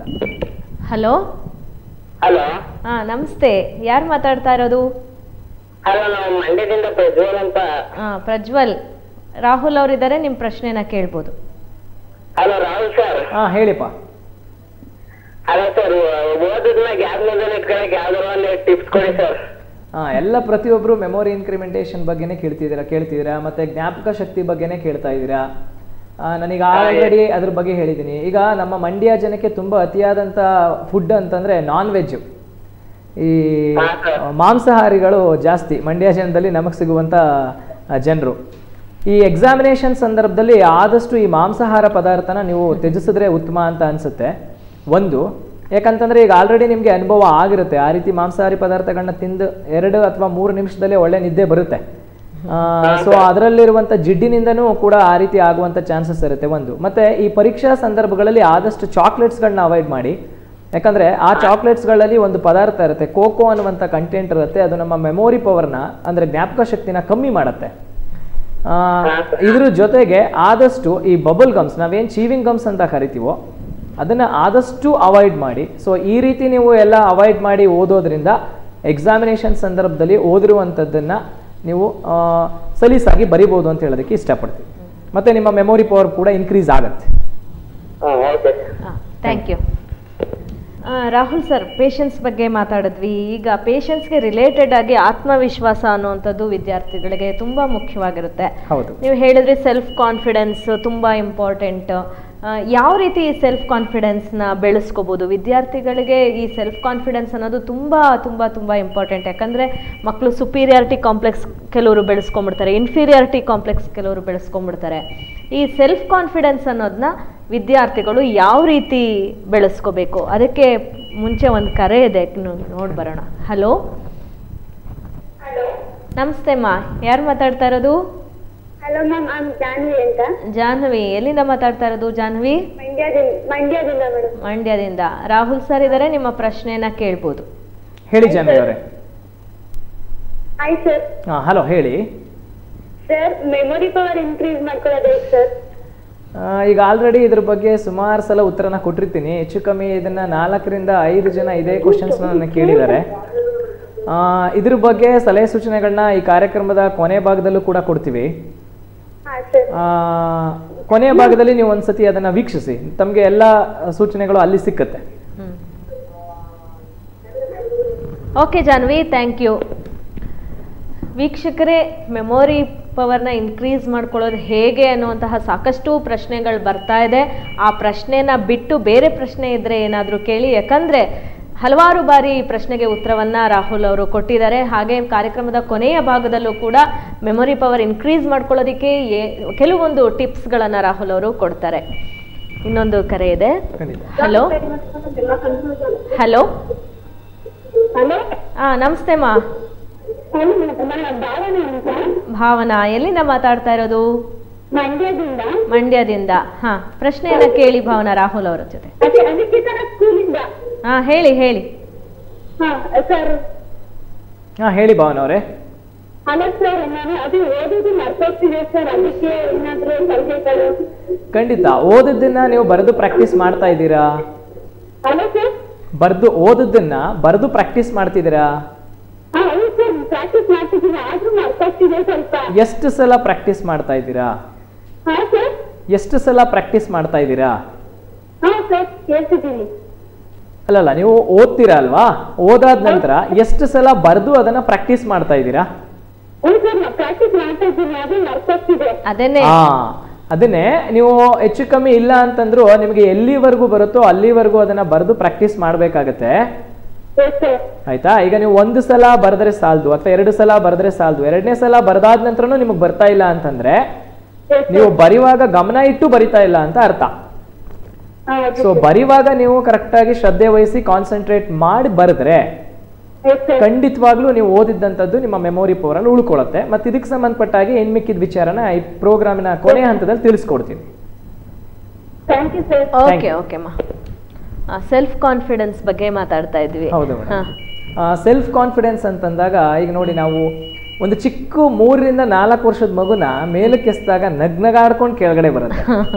ಅದಕ್ಕೆ ಗೊತ್ತಿದೆ ಯಾಕಂದ್ರೆ ಕೆಳಗಡೆ ನಮ್ಮ ತಂದೆ ಅಥವಾ ತಾಯಿ ಯಾರಾದ್ರೂ ಒಬ್ರು ನನ್ನ ಹಿಡಿದು. ಇಟ್ಕೊಂಡೇ ಹಿಡಿದು ಇಟ್ಕೋತಾರೆ ಅನ್ನುವಂತ ಆತ್ಮವಿಶ್ವಾಸ ಆ ಮೂರರಿಂದ ನಾಲ್ಕು ವರ್ಷದ ಮಗುಗೆ ಇರ್ಬೇಕಾದ್ರೆ ಅದನ್ನ ಹಿಡ್ಕೊಂಡು ಮೇಲಕ್ಕೆ ಎಸೆಯೋರು ನಾವು ನಮಗಿನ್ನೆಷ್ಟು ಆತ್ಮವಿಶ್ವಾಸ ಇರಬೇಕು. ಇದನ್ನ ಒಂದು ಎಕ್ಸಾಂಪಲ್ ಮುಖಾಂತರನು ನಾನು ನಿಮ್ಗೆ ಎಕ್ಸ್ಪ್ಲನೇಷನ್ ಕೊಡೋದಕ್ಕೆ ಇಷ್ಟಪಡ್ತೀನಿ. ಒಬ್ಬ ರಾಜ ಯುದ್ಧಕ್ಕೆ ಹೋಗ್ತಾನೆ ಇದ್ದ. ಪ್ರತಿ ಸಂದರ್ಭದಲ್ಲೂ ಆ ರಾಜನಿಗೆ ಸೋಲೆ ಆಗ್ತಾ ಇತ್ತು. ಒಂದು ಸಲ ಯುದ್ಧಕ್ಕೆ ಹೋಗಿ ಬಂದು ಕೂತ್ಕೊಂಡು ಅರಮನೆಯಲ್ಲಿ ವಿಶ್ರಾಂತಿನ ಪಡೆಯುವಂತ ಸಂದರ್ಭದಲ್ಲಿ ಒಂದು ಕೆಳಗಡೆ ಪುಟಾಣಿ ಸಕ್ಕರೆ ತುಂಡು ಬಿದ್ದಿತ್ತು. ಆ ಸಕ್ಕರೆ ತುಂಡನ್ನ ತಗೊಂಡು ತನ್ನ ಗೂಡು ಗೋಡೆ ಮೇಲಿರುವಂತ ತನ್ನ ಗೂಡನ್ನ ತಲುಪುವಂತ ಪ್ರಯತ್ನ ನಡೆಸ್ತಿತ್ತು. ಸುಮಾರು ಸಲ ಸಕ್ಕರೆ ತುಂಡು ಕೆಳಗೆ ಬೀಳುತ್ತೆ. ಸುಮಾರು ಸಲ ಗೋಡೆ ಮೇಲೆ ಹತ್ತತ್ತೆ. ಇದನ್ನ ತುಂಬಾ ಗಾಢವಾಗಿ ನೋಡ್ತಿದ್ದಂತ ರಾಜನಿಗೆ ಅನ್ಸುತ್ತೆ ಓ ನಾನು ಎಷ್ಟೋ ಸಲ ಯುದ್ಧದಲ್ಲಿ ಇದೇ ರೀತಿ ಸೋಲನ್ನ ಅನುಭವಿಸಿದೀನಿ. ಸೆಲ್ಫ್ ಕಾನ್ಫಿಡೆನ್ಸ್ ಬಗ್ಗೆ ಮಾತಾಡ್ತಾ ಇದ್ವಿ. ಮಾತಾಡ್ತಾ ಇದ್ದೀನಿ. ಹಾ ಸೆಲ್ಫ್ ಕಾನ್ಫಿಡೆನ್ಸ್ ಅಂತಂದಾಗ ಒಂದು ಸ್ಟೋರಿ ಹೇಳಿದೆ. ಆ ರಾಜ ಇದ್ದಕ್ಕೆ ಹೋಗಿ ಬಂದಾಗ್ಲೆಲ್ಲ ಸೋಲೆ ಆಗ್ತಾ ಇತ್ತು. ಸೊ ಯಾವಾಗ ಒಂದು ಸಕ್ಕರೆ ತುಂಡನ್ನ ತಗೊಂಡು ಒಂದು ಇರುವೆ ಅದ್ರ ಮೇಲ್ಗಡೆ ಗೂಡನ್ನ ತಲುಪುವಂತ ಪ್ರಯತ್ನ ನಡೆಸ್ತಿತ್ತು. ಆ ಸಂದರ್ಭದಲ್ಲಿ ರಾಜನಿಗೂ ಕೂಡ ಮನವರಿಕೆ ಆಯಿತು. ಓ ನಾನು ಕೂಡ ಇದೇ ರೀತಿ ಪ್ರಯತ್ನಗಳನ್ನ ನಡೆಸಿದ್ದೀನಿ ನನಗೂ ಕೂಡ ಸೋಲಾಗಿದೆ. ಬಟ್ ನಾನು ಪ್ರಯತ್ನ ಪಟ್ಟರೆ ಮುಂದೊಂದು ದಿವಸ ಈ ಇರುವೆ ಗೂಡಿಗೆ ಇರುವೆ ಸೇರ್ಕೊಂಡಿದ್ದ ರೀತಿನೇ ನಾನು ಕೂಡ ಸೇರ್ಕೋಬೋದು ಅಂತ ಹೇಳಿ ಆತ್ಮವಿಶ್ವಾಸನ ಬೆಳೆಸ್ಕೋತಾನೆ. ಸೊ ಅದರಿಂದ ಅವನಿಗೆ ಮುಂದೊಂದು ದಿವಸ ಜಯ ಕೂಡ ಸಿಕ್ಕತ್ತೆ. ಸೊ ಆದ್ರಿಂದ ಆತ್ಮವಿಶ್ವಾಸನ ಈ ರೀತಿಯಾಗಿ ನಾವು ಬೆಳೆಸ್ಕೊಳ್ಳೋದು ಭಾರಿ ಉತ್ತಮ ಅಂತ ಹೇಳೋದಕ್ಕೆ ಇಷ್ಟಪಡ್ತೀನಿ. ಸರ್ ಈಗ ಒಬ್ಬ ವಿದ್ಯಾರ್ಥಿಗೆ ಪಾಸಿಟಿವ್ ಆಟಿಟ್ಯೂಡ್ ಅನ್ನೋದು ಬಹಳ ಮುಖ್ಯ. ಧನಾತ್ಮಕ ಮನೋಭಾವ ಅವ್ರಿಗೆ ಇರಬೇಕು. ಕೆಲವರು ನನ್ನ ಕೈಲೇ ಆಗ್- ಆಗೋದಿಲ್ಲ ನೀವು ಅವಾಗಲೇ ಹೇಳಿದ್ರಿ ನನ್ನ ಕೈಲಿ ಆಗಲ್ಲ ಅನ್ನುವಂತಹ ಇನ್ಫೀರಿಯಾರಿಟಿ ಕಾಂಪ್ಲೆಕ್ಸನ್ನು ಬೆಳೆಸ್ಕೊಂಡ್ಬಿಡ್ತಾರೆ. ಸೊ ಸ್ಟೂಡೆಂಟ್ ಸ್ಟೂಡೆಂಟ್ಗೆ ಯಾವ ರೀತಿ ಪಾಸಿಟಿವ್ ಆ್ಯಟಿಟ್ಯೂಡ್ನ ಬೆಳೆಸ್ಕೋಬೇಕು? ಖಂಡಿತ ಮೇಡಮ್. ಈಗ ನಮ್ಮಲ್ಲಿ ಎರಡು ತರ ಕ್ಯಾರೆಕ್ಟರ್ ಬರುತ್ತೆ. ಆಗ್ಲೇ ಹೇಳಿದೆ ಒಂದು ಪಾಸಿಟಿವ್ ಆಟಿಟ್ಯೂಡ್ ಇನ್ನೊಂದು ನೆಗೆಟಿವ್ ಆಟಿಟ್ಯೂಡ್ ಅಂದ್ರೆ ಒಂದು ಪಾಸಿಟಿವ್ ಕ್ಯಾರೆಕ್ಟರ್ ಇನ್ನೊಂದು ನೆಗೆಟಿವ್ ಕ್ಯಾರೆಕ್ಟರ್ ಅಂತ ಬರುತ್ತೆ. ಸೊ ಪಾಸಿಟಿವ್ ಅಂತಂದ್ರೆ ನಾವು ಯೋಚನೆ ಮಾಡೋದು ಯಾವ ರೀತಿ ಇರುತ್ತೆ? ಈ ದೇಶಕ್ಕೋಸ್ಕರ ನಾನೇನ್ ಮಾಡಬೇಕು? ಅದು ಪಾಸಿಟಿವ್ನ ಇಂಡಿಕೇಟ್ ಮಾಡುತ್ತೆ. ಖಂಡಿತ. ಹಲೋ? ಹಲೋ? ಹಲೋ ಹೇಳಿ. Hello good evening ma'am good evening ತಮ್ಮ ಹೆಸರು? ನನ್ನ ಹೆಸರು ದೀಕ್ಷಾ ಅಂತ. ಅನಿಕೇತನ ಕಾಲೇಜಲ್ಲೇ ಫಸ್ಟ್ ಪಿ ಯು ಸಿ ಓದ್ತಾ ಇದ್ದೀನಿ. ಕಾಮರ್ಸ್ ತಗೊಂಡಿದ್ದೀನಿ. ಹಾಂ ಹಾಂ ಹಾಂ. ರಾಹುಲ್ ಅವರಿದ್ದಾರೆ ಪ್ರಶ್ನೆನ ಕೇಳ್ಬೋದು ದೀಕ್ಷಾ. ಗುಡ್ ಈವ್ನಿಂಗ್ ಸರ್ ಹಾ ಗುಡ್ ಈವ್ನಿಂಗ್ ಹೇಳಪ್ಪ. ಸರ್ ಇದು ಎಕ್ಸಾಮಿನೇಷನ್ ಟೈಮಲ್ಲಿ ಐಸ್ ಕ್ರೀಮ್ಸ್ ತಿನ್ನಬಹುದಾ ಅಥವಾ ತಿನ್ನಬಾರ್ದಾ ಅಂತ? ಹೌದು. ಎಕ್ಸಾಮಿನೇಷನ್ ಎಕ್ಸಾಮಿನೇಷನ್ ಸಂದರ್ಭದಲ್ಲಿ ಐಸ್ ಕ್ರೀಮ್ಸ್ ಕ್ರೀಮ್ಸ್ಗಳನ್ನ ತಿನ್ನೋದ್ರಿಂದ ಮೆಮೊರಿ ಪವರ್ ಡಿಕ್ರೀಸ್ ಆಗುವಂತ ಚಾನ್ಸಸ್ ಇರುತ್ತೆ. ಯಾಕೆ ಅಂದ್ರೆ ಅದರಲ್ಲಿ ಸಕ್ಕರೆ ಅಂಶ ಇರುತ್ತೆ ನಿಮ್ಗೆ ಗೊತ್ತು. ಸಕ್ಕರೆ ಅಂಶ ಅನ್ನುವಂಥದ್ದು ಮೆಮೊರಿ ಪವರ್ನ ಡಿಕ್ರೀಸ್ ಮಾಡಿಸುವಂತ ಒಂದು ಅಂಶ. ಈಗ ಬರೀ ಐಸ್ ಕ್ರೀಮ್ ಒಂದೇ ಅಲ್ಲ ಈಗ ಚಾಕ್ಲೇಟ್ಸ್ಗಳೇ ಆಗಿರ್ಬೋದು ಅಥವಾ ನಾನ್ ವೆಜ್ ಐಟಮ್ಸ್ಗಳಾಗಿರ್ಬೋದು ಸೊ ಸೊ ನೀವು ಹೇಳಿದಾಗೆ ಐಸ್ ಕ್ರೀಮ್ಸ್ಗಳಾಗಿರ್ಬೋದು ಅಥವಾ ಚೀವಿಂಗ್ ಗಮ್ಸ್ಗಳಾಗಿರ್ಬೋದು ಸೊ ಈ ರೀತಿಯೆಲ್ಲ ಎಲ್ಲ ಆಗುವಂತ ಸಾಧ್ಯತೆಗಳು ಇರುತ್ತೆ. ಸೊ ಇದರಿಂದೆಲ್ಲ ನಮ್ಮ ಮೆಮೊರಿ ಪವರ್ ಡಿಕ್ರೀಸ್ ಆಗುವಂತ ಚಾನ್ಸಸ್ ಇರುತ್ತೆ. ಸೊ ಹಾಗಾಗಿ ಎಕ್ಸಾಮಿನೇಷನ್ ಸಂದರ್ಭಗಳಲ್ಲಿ ಅಂದ್ರೆ ಪರೀಕ್ಷಾ ಸಂದರ್ಭಗಳಲ್ಲಿ ಆದಷ್ಟು ಅದನ್ನ ನೀವು ಅವಾಯ್ಡ್ ಮಾಡೋದು ಉತ್ತಮ ಅಂತ ಹೇಳೋದಕ್ಕೆ ಇಷ್ಟಪಡ್ತೀನಿ. ಹಾಂ thank you sir thank you okay okay Deeksha exam ಮುಗಿದ್ಮೇಲೆ ಐಸ್ ಕ್ರೀಮ್ನ ತಿನ್ಬೋದು. ಏನು ಸರ್? ಖಂಡಿತ ಮೇಡಮ್. ಇನ್ನೊಂದು ಕರೆ ಇದೆ. ಹಲೋ ಹಲೋ ಪಾಸಿಟಿವ್ ಆಟಿಟ್ಯೂಡ್ ಬಗ್ಗೆ ಮಾತಾಡ್ತಾ ಹಾ ಮೇಡಮ್ ಪಾಸಿಟಿವ್ ಮತ್ತೆ ನೆಗೆಟಿವ್ ಆಟಿಟ್ಯೂಡ್ ಬಗ್ಗೆ ಮಾತಾಡ್ತಿದ್ವಿ. ಈ ದೇಶಕ್ಕೋಸ್ಕರ ನಾನೇನ್ ಮಾಡ್ಬೇಕು ಅಂತ ಯೋಚಿಸಿದ್ರೆ ಪಾಸಿಟಿವ್ ಆಟಿಟ್ಯೂಡ್ ಮಹಾ ಈ ದೇಶ ನನಗೋಸ್ಕರ ಏನ್ ಮಾಡಿದೆ ಅಂತಂದ್ರೆ ನೆಗೆಟಿವ್ ಆಟಿಟ್ಯೂಡ್ ನಮ್ಮ ತಂದೆ ತಾಯಿಗೋಸ್ಕರ ನಾವೇನ್ ಮಾಡಬೇಕು ಅಂತ ಯೋಚಿಸಿದ್ರೆ ಪಾಸಿಟಿವ್ ಆಟಿಟ್ಯೂಡ್ ಮಹಾ ನಮ್ಮ ತಂದೆ ತಾಯಿ ನಮಗೋಸ್ಕರ ಏನ್ ಮಾಡಿದ್ದಾರೆ ಅಂತ ತಿಳ್ಕೊಂಡ್ರೆ ನೆಗೆಟಿವ್ ಒಂದು ಕರೆ ಇದೆ ಸರ್ ಖಂಡಿತ. ಹಲೋ ಹಾ ನಮಸ್ತೆ ಸರ್ ನಮಸ್ತೆ ನಮಸ್ಕಾರ ಮೇಡಮ್ ತಮ್ಮ ಹೆಸರು ಸರ್ ಪ್ರಭಾಕರ ಸಿದ್ದಯ್ಯ ಎಲ್ಲಿಂದ ಮಾತಾಡ್ತಾ ಇರೋದು ಸರ್? ಸಿದ್ದಯ್ಯನ್ ಕೊಪ್ಪಳಿಂದ ಸಿದ್ದಯ್ಯನ ಕೊಪ್ಲು. ರಾಹುಲ್ ಅವರಿದ್ದಾರೆ ನಿಮ್ಮ ಪ್ರಶ್ನೆಯನ್ನ ಕೇಳ್ಬೋದು. ನಮಸ್ತೆ ಸರ್ ಅವರೇ. ನಮಸ್ತೆ ನಮಸ್ತೆ ಸರ್ ಹೇಳಿ ಸರ್. ಸರ್ ಇದು ವಿದ್ಯಾರ್ಥಿಗಳು ಬೆಳಗಿನ ಜಾವ ಸರಿನಾ ರಾತ್ರಿ ಟೈಮ್ ಹೋದ್ರೆ ಸರಿನಾ? ಸರ್ ಎರಡು ಸಮಯನೂ ಕೂಡ ಸೂಕ್ತವಾದಂತ ಸಮಯ. ಯಾಕಂದ್ರೆ ರಾತ್ರಿ ಸಮಯ ಅಂತ ಬಂದಾಗ ಸಂಜೆ ಆರು ಅಥವಾ ಏಳು ಗಂಟೆ ನಂತರ ಸ್ವಲ್ಪ ಗದ್ದಲ ಕಮ್ಮಿ ಆಗತ್ತೆ. ಬೆಳಗಿನ ಜಾವದಲ್ಲೂ ಓದ್ಬೋದು. ಸಂಜೆ ಜಾವದಲ್ಲೂ ಅವ್ರು ಓದ್ಬೋದು. ಯಾಕೆ ಅಂತಂದ್ರೆ, ಬೆಳಗಿನ ಜಾವದಲ್ಲಿ ಯಾವುದೇ ರೀತಿಯಾದಂತಹ ಗದ್ದಲಗಳು ಇರೋದಿಲ್ಲ. ಅಂದ್ರೆ ಗಲಾಟೆಗಳು ಇರೋದಿಲ್ಲ. ಮನಸ್ಸು ತುಂಬಾ ಪ್ರಶಾಂತವಾಗಿ ಕೂಡ ಇರುತ್ತೆ. ಸಂಜೆ ಸಮಯದಲ್ಲೂ ಕೂಡ ಮನಸ್ಸು ಅವ್ರದ್ದು ಪ್ರಶಾಂತವಾಗಿ ಇರುತ್ತೆ ಅನ್ನೋದಕ್ಕೆ ಕಾರಣ ಏನಪ್ಪಾ ಅಂತಂದ್ರೆ, ಒಂದು ಏಳು ಗಂಟೆ ಕಳೆದ ನಂತರ ಗದ್ದಲಗಳು ಕಮ್ಮಿ ಆಗತ್ತೆ. ಸೊ ಯಾವಾಗ ಗದ್ದಲಗಳು ಕಮ್ಮಿ ಆಗುತ್ತೋ, ಯಾವಾಗ ತೊಂದರೆಗಳಿರಲ್ವೋ, ಆ ಸಂದರ್ಭದಲ್ಲಿ ಅವರು ಓದೋದ್ರಿಂದ ಅವ್ರಿಗೆ, ಅವ್ರು ಓದಿದಂಥದ್ದು ತುಂಬ ಚೆನ್ನಾಗಿ ತಲೆ ಒಳಗಡೆ ಹೋಗುತ್ತೆ. ಎರಡೂ ಸಮಯನೂ ಸೂಕ್ತ. ಬೆಳಗಿನ ಜಾವನಾದ್ರೂ ಓದ್ಬೋದು ಅಥವಾ ಸಂಜೆ ಏಳು ಗಂಟೆ ಅಥವಾ ಆರು ಗಂಟೆ ನಂತರನಾದ್ರೂ ಅವರು ಓದ್ಬೋದು. ಸರ್ ಇನ್ನೊಂದು ಸಮಸ್ಯೆ. ಹಾಂ ಹೇಳಿ ಸರ್. ಹಲೋ ನಿಮ್ಮ ಟಿವಿ ವಾಲ್ಯೂಮ್ ಅನ್ನ ಮ್ಯೂಟ್ ಮಾಡಿ ಪ್ರಶ್ನೆನ ಕೇಳಿ ಸರ್. ಸರ್ ಇನ್ನೊಂದು ಸಮಸ್ಯೆ. ಹಾ ಹೇಳಿ ಸರ್ ಹೇಳಿ ಸರ್. ಸರ್ ಮಕ್ಕಳಿಗೆ ಊಟನ ಏನ್ ಕೊಡ್ಬೋದು? ಕರೆಕ್ಟ್ ಆಗಿ ಓದ್ಬೇಕು ಅಂದ್ರೆ. ಖಂಡಿತವಾಗ್ಲು ಸರ್. ಊಟ ಅಂತಂದಾಗ ಎಲ್ಲ ಪ್ರತಿಯೊಂದು ಇತಿಮಿತಿಯಾಗಿರ್ಬೇಕಾಗತ್ತೆ. ಆ, ಒಂದು ಒಂದ್ಸತಿ ನಾವು ನಾನ್ ವೆಜ್ನ ಬಳಸಿದ್ರೆ ಉತ್ತಮ. ಈಗ ವಾರದಲ್ಲಿ ಎರಡು ಸಲ ಅಥವಾ ಮೂರು ಸಲ ನಾವು ಅದು ಬಳಸೋದ್ರಿಂದನೂ ಕೂಡ ನಮ್ಮ ಮೆಮೊರಿ ಪವರ್ ಡಿಕ್ರೀಸ್ ಆಗುವಂಥ ಚಾನ್ಸಸ್ಗಳಿರುತ್ತೆ ಸಾಧ್ಯತೆಗಳಿರುತ್ತೆ. ಆದಷ್ಟು ಸೊಪ್ಪು ತರಕಾರಿ ಈ ಥರದ ಪದಾರ್ಥಗಳನ್ನ ಕೊಡೋದ್ರಿಂದ ಮೆಮೊರಿ ಪವರ್ ಇನ್ಕ್ರೀಸ್ ಆಗುತ್ತೆ ಮತ್ತು ಹಸಿ ತರಕಾರಿಗಳನ್ನ ತಿನ್ಸೋದಕ್ಕೆ ಒಂದು ಸ್ವಲ್ಪ ಪ್ರಾಕ್ಟೀಸ್ ಮಾಡಿಸಿ. ಸಂಜೆ ಟೈಮಲ್ಲಿ ಮಲಗಬೇಕಾದ್ರೆ ಒಂದೆರಡು ಬಾದಾಮಿಗಳನ್ನ ನೀರಲ್ಲಿ ನೆನೆ ಹಾಕಿ ಬೆಳಗ್ಗೆ ಎದ್ದ ತಕ್ಷಣ ಆ ಬಾದಾಮಿನ ಅವರಿಗೆ ತಿನ್ನೋದು ಕೊಡೋದ್ರಿಂದನೂ ಕೂಡ ಅವ್ರ ಮೆಮೊರಿ ಪವರ್ ಇನ್ಕ್ರೀಸ್ ಆಗುತ್ತೆ. ಹಲೋ? ನಿಮ್ಮ ಪ್ರಶ್ನೆಗೆ ಉತ್ತರ ಸಿಕ್ತು ಅಂತ ತಿಳ್ಕೊಂಡಿದೀವಿ ಸರ್. ಧನ್ಯವಾದಗಳು ಕರೆ ಮಾಡಿದ್ದಕ್ಕೆ. ಓಕೆ. ಹಾ ಪಾಸಿಟಿವ್ ಆಟಿಟ್ಯೂಡ್ ಬಗ್ಗೆ ಮಾತಾಡ್ತಾ ಇದ್ವಿ. ನೆಗೆಟಿವ್ ಆಟಿಟ್ಯೂಡ್ ಬಗ್ಗೆನೂ ಮಾತಾಡ್ತಾ ಇದ್ವಿ. ಅದ್ರ ಬಗ್ಗೆ ತಿಳಿಸ್ಕೊಟ್ಟೆ. ಸೊ ಅದೇ ಹೇಳಿದ್ವಲ್ಲ ಈಗ ಒಂದು ಸಂಸ್ಥೆಯಲ್ಲಿ ವರ್ಕ್ ಮಾಡ್ತಿರುವಂತ ಒಬ್ಬ ನೌಕರನು ಕೂಡ ಈ ರೀತಿಯಾಗಿ ಯೋಚನೆ ಮಾಡಬಹುದು. ಈ ಸಂಸ್ಥೆ ಮಹಾ ನನಗೇನ್ ಮಾಡಿದೆ ಅಂತ ಯೋಚಿಸಿದ್ರೆ ಸೊ ನೆಗೆಟಿವ್ ಆ್ಯಟಿಟ್ಯೂಡ್ ಆಗುತ್ತೆ. ಈ ಸಂಸ್ಥೆಗೋಸ್ಕರ ನಾನೇನು ಮಾಡಬೇಕು ಅಂತ ಯೋಚಿಸಿದ್ರೆ ಅದು ಪಾಸಿಟಿವ್ ಆ್ಯಟಿಟ್ಯೂಡ್ ಆಗುತ್ತೆ. ಸೊ ಎರಡೂ ಕೂಡ ನಮ್ಮಲ್ಲೇ ಇರೋದ್ರಿಂದ ನಾವು ಪಾಸಿಟಿವ್ ಕಡೆಗೆ ಹೋಗೋದು ಉತ್ತಮ ಅಂತ ಅನ್ಸುತ್ತೆ. ಹಾಗಾಗಿ ಪಾಸಿಟಿವ್ ಆಟಿಟ್ಯೂಡ್ ತುಂಬಾ ಮುಖ್ಯ. ಧನಾತ್ಮಕವಾಗಿ ಯೋಚನೆ ಮಾಡಿ ಎಲ್ಲ ಪಾಸಿಟಿವ್ ಫೋರ್ಸಸ್ ನಮ್ಮ ಕಡೆನೇ ಅಟ್ರಾಕ್ಟ್ ಆಗುತ್ತೆ ಅಂತ ಹೇಳ್ಬೋದು. ಒಂದು. ಕರೆ ಇದೆ ಸರ್ ಖಂಡಿತ. ಹಲೋ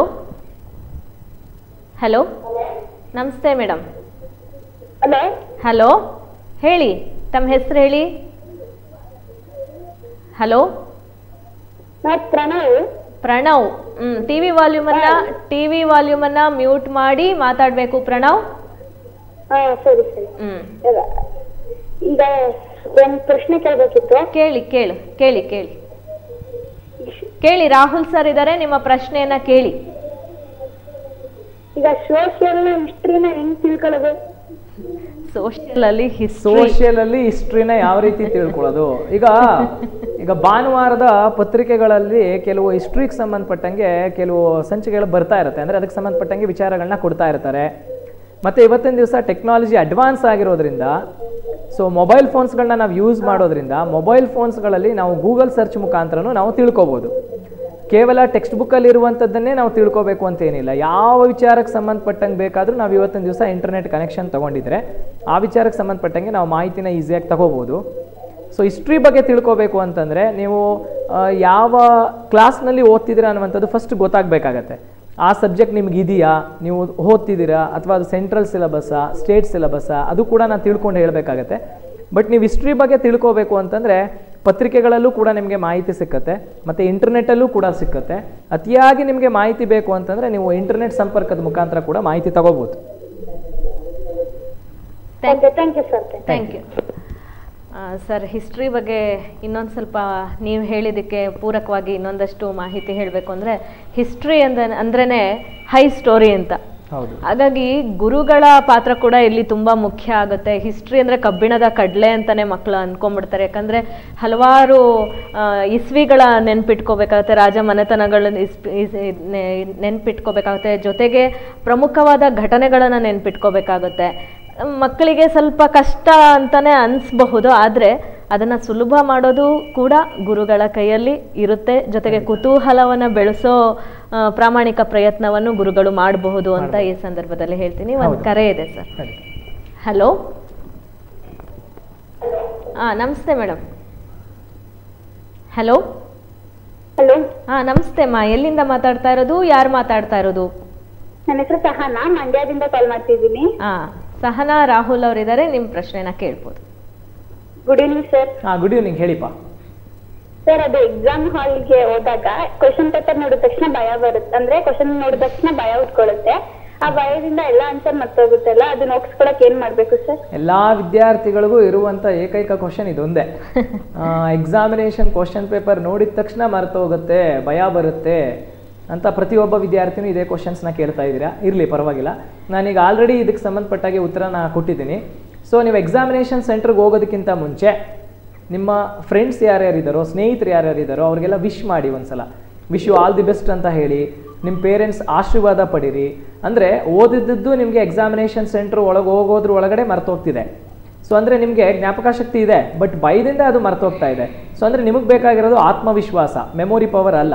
ಸೊ ಹಾಗಾಗಿ ನೀವೇನು ಮಾಡಿ ಅಂತಂದರೆ ನಿಮ್ಮ ಸ್ನೇಹಿತರಿಗೆ ವಿಶ್ ಮಾಡಿ ನಿಮ್ಮ ಪೇರೆಂಟ್ಸ್ಗೆ ವಿಶ್ ಮಾಡಿ ಸೊ ದೇವರಿಗೆ ಕೈ ಮುಗಿದು ನಂತರ ಎಕ್ಸಾಮಿನೇಷನ್ ಹಾಲ್ ಒಳಗಡೆ ಹೋದಾಗ ಒಂದು ಐದರಿಂದ ಹತ್ತು ನಿಮಿಷ ಕೂತ್ಕೊಂಡು ನಾನು ಓದಿದ್ದಂಥದ್ದು ಪ್ರತಿಯೊಂದು ನನಗೆ ಬರುತ್ತೆ ನಾನು ಬರಿತೀನಿ ಅಂತ ತಿಳ್ಕೊಂಡು ನಂತರ ನೀವು ಕ್ವಶನ್ ಪೇಪರ್ನ ಓದೋದಕ್ಕೆ ಪ್ರಾಕ್ಟೀಸ್ ಮಾಡಿದ್ರೆ ಖಂಡಿತವಾಗ್ಲೂ ನಿಮ್ಮ ಭಯ ದೂರ ಆಗುತ್ತೆ.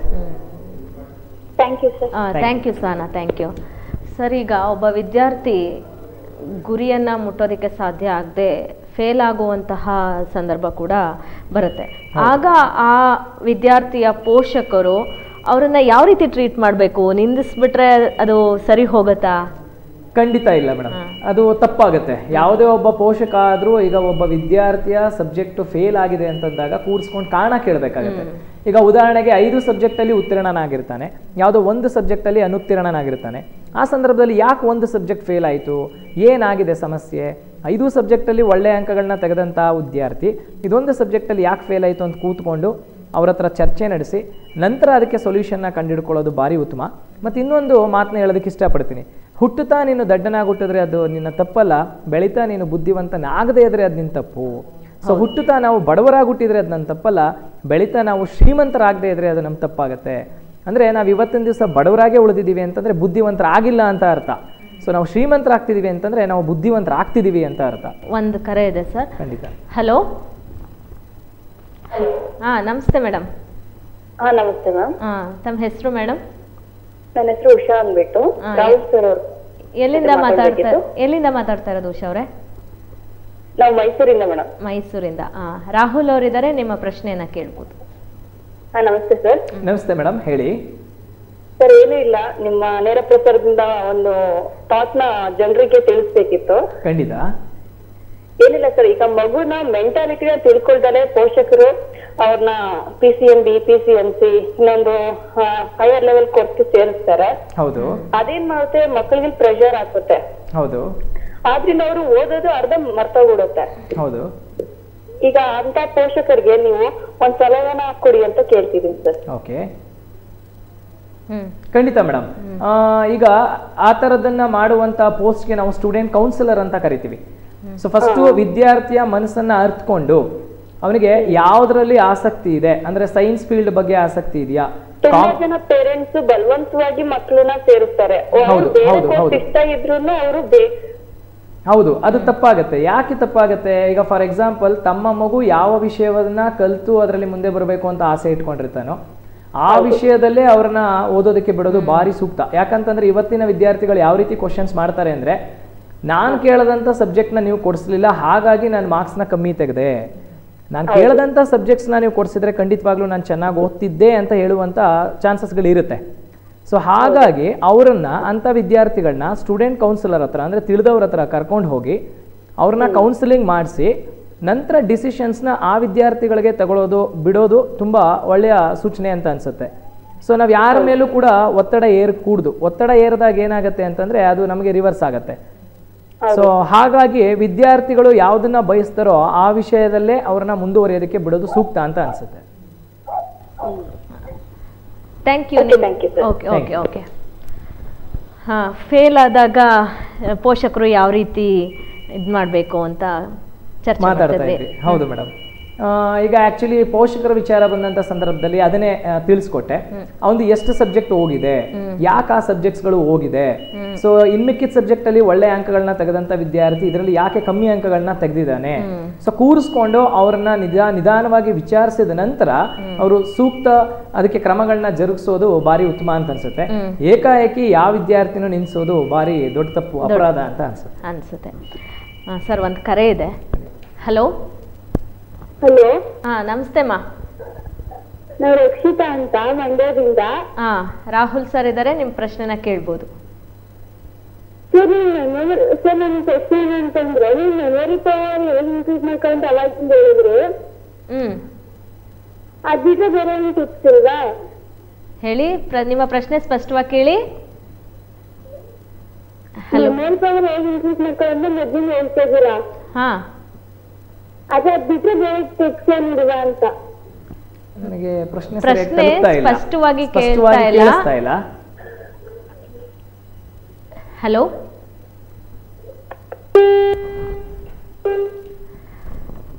ಹಾ ನಿಂದಿಸೋದು ತಪ್ಪು ಅಂತ ಹೇಳಿದ್ರಿ. ಹೌದು. ಈಗ ವಿದ್ಯಾರ್ಥಿ ಜೀವನದಲ್ಲಿ ವಿದ್ಯಾರ್ಥಿ ಜೀವನ ಇರಲಿ ಅಥವಾ ಮನುಷ್ಯರ ಜೀವನ ಜೀವನದಲ್ಲಿ ನಮ್ಮ ಜೀವನದಲ್ಲಿ ಕದಿಯೋಕ್ಕಾಗದೇ ಇರುವಂತಹ ಒಂದು ದೊಡ್ಡ ಆಸ್ತಿ ಅಂದರೆ ಖಂಡಿತ. ವಿದ್ಯೆ. ಹೌದು ಹೌದು. ಇದನ್ನ ಹೇಗೆ ಸಮರ್ಥಿಸ್ಕೋತೀರಾ? ಖಂಡಿತ. ಮೇಡಮ್ ನಾವು ಸಾಯೋವರೆಗೂ ನಮ್ಮಿಂದ ಕದಿಯೋಕಾಗ್ದೇ ಇರೋ ಏಕೈಕ ಆಸ್ತಿ ಅಂತಂದ್ರೆ ವಿದ್ಯೆ. ನಾವು ಸತ್ತನ್ ಸತ್ತ ನಂತರವೂ ಕೂಡ ನಮ್ಮಿಂದ ಕದಿಯೋಕ್ಕಾಗದೇ ಇರೋ ಒಂದೇ ಒಂದು ಆಸ್ತಿ ಅಂದ್ರೆ ವಿದ್ಯೆನೆ. ಯಾಕೆ? ಈಗ ಫಾರ್ ಎಕ್ಸಾಂಪಲ್ ಇವತ್ತಿನ ದಿವಸ ನಾವು ಮಂಡ್ಯ ಜಿಲ್ಲೆ ಕೆ ಆರ್ ಎಸ್ ಅಲ್ಲಿ ನೀರು ಕುಡಿತಾ ಇದ್ದೀವಿ ಅಂತಂದ್ರೆ ಒಂದು ಕೆ ಆರ್ ಎಸ್ ಡ್ಯಾಮ್ ಇದೆ ಅಂತಂದರೆ ಅದಕ್ಕೆ ಕಾರಣಕರ್ತರು ನಮ್ಮ ಸರ್ ಎಂ ವಿಶ್ವೇಶ್ವರಯ್ಯನವರು. ಸೊ ಇವತ್ತಿನ ದಿವಸ ಅವರು ಇಲ್ಲ. ಆದರೂ ಕೂಡ ಅವ್ರಿಗಿದ್ದಂಥ ವಿದ್ಯೆಯಿಂದ ಅವ್ರಿಗಿದ್ದಂಥ ಟ್ಯಾಲೆಂಟಿಂದ ಸೊ ಅವರು ಒಂದು ಕೆ ಆರ್ ಎಸ್ ಅಂತ ಮಾಡಿದ್ದಾರೆ. ಇವತ್ತಿಲ್ಲ ಅಂದರೂ ಕೂಡ ಅವ್ರ ವಿದ್ಯೆ ಅದನ್ನು ತೋರಿಸುತ್ತೆ. ಸೊ ಹಾಗಾಗಿ ನಾವು ಬದುಕಿರುವಂಥ ಸಂದರ್ಭದಲ್ಲಿ ಸೊ ನಾವು ಫಸ್ಟು ಬೆಳೆಸ್ಕೋಬೇಕಾಗಿರುವಂಥದ್ದು ಏನಪ್ಪ ಅಂತಂದರೆ ವಿದ್ಯೆ. ವಿದ್ಯೆನೇ ನಮಗೆ ಮೂಲ ಹೇಳಬೇಕು ಅಂತಂದರೆ. ಈಗ ಕೆಲವು ಸಂದರ್ಭದಲ್ಲಿ ಏನಾಗುತ್ತೆ ಈಗ ಕ್ವಾಲಿಫಿಕೇಷನ್ ಅಂತ ಕರಿತೀವಿ. ವಿದ್ಯಾಭ್ಯಾಸದಿಂದ ನಮ್ಗೆ ಕ್ವಾಲಿಫಿಕೇಷನ್ ಸಿಕ್ಕತ್ತೆ. ಈಗ ಕೆಲವು ಸಂದರ್ಭದಲ್ಲಿ ನಮಗೆ ಮರ್ಯಾದೆ ಸಿಗದೇ ಇರುವಂಥ ಚಾನ್ಸಸ್ ಕೂಡ ಇರುತ್ತೆ. ಸೊ ಹಾಗಾಗಿ ಫಸ್ಟ್ ಪ್ರಿಫರೆನ್ಸ್ನ ನಾವು ವಿದ್ಯೆಗೆ ಕೊಡಬೇಕು. ಒಂದು ಕರೆ ಇದೆ ಸರ್. ಹಲೋ? ಹಲೋ. ಹಾಂ ನಮಸ್ ಲಾವಣ್ಯ ಅವರೇ ನಿಮ್ಮ ಟಿ ವಿ ವಾಲ್ಯೂಮನ್ನು ಮ್ಯೂಟ್ ಮಾಡಿ ಪ್ರಶ್ನೆಯನ್ನು ಕೇಳಿ. ಇವಾಗ ಸೆಕೆಂಡ್ ಪ್ರೊಸೀಜರ್ ಮುಗಿತ್ತು ನೆಕ್ಸ್ಟ್ ಇಂಜಿನಿಯರ್ ಮಾಡಬೇಕು ಅನ್ಕೊಂಡಿದೀನಿ. ಸಂತೋಷ. ಯಾವ ಕಾಂಬಿನೇಷನ್ ತಗೊಂಡಿದ್ರಿ? ಸರ್ ಇನ್ನ ಅಂದ್ರೆ ಡಾಕ್ಯುಮೆಂಟ್ ವೆರಿಫಿಕೇಶನ್ ಹೋಗ್ಬೇಕು ಇ ಸಿ ಅಥವಾ ಸಿ ಎಸ್ ಡಿಪಾರ್ಟ್ಮೆಂಟ್ ತಗೊಬೇಕು ಅಂತ. ಖಂಡಿತ. ಸೊ ಅಂದ್ರೆ ನೀವು ಇಂಜಿನಿಯರಿಂಗ್ ಅಲ್ಲಿ ಎಲೆಕ್ಟ್ರಾನಿಕ್ಸ್ ಅಂಡ್ ಕಮ್ಯುನಿಕೇಶನ್ ಅಥವಾ ಕಂಪ್ಯೂಟರ್ ಸೈನ್ಸ್ ವಿಭಾಗದಲ್ಲಿ ಮುಂದುವರಿಬೇಕು ಅಂತ ಆಸಕ್ತಿ ತೋರಿಸ್ತಿದ್ದೀರಾ?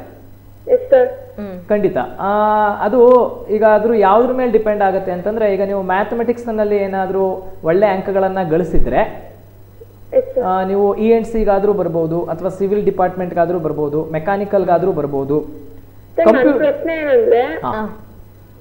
ಹಲೋ? ಹಾ, ಹೇಳಿ ಹೇಳಿ ಹೇಳಿ. ಕೇಳಿಸ್ತಾ ಇದೆ ಹೇಳಿ. ಸರ್ ಅಂದ್ರೆ ನಾನು hundred percent hundred percent effort ಹಾಕಿಲ್ಲ ಅಂದ್ರೆ at least ninety nine percent ಹಾಕಿದ್ದೀನಿ.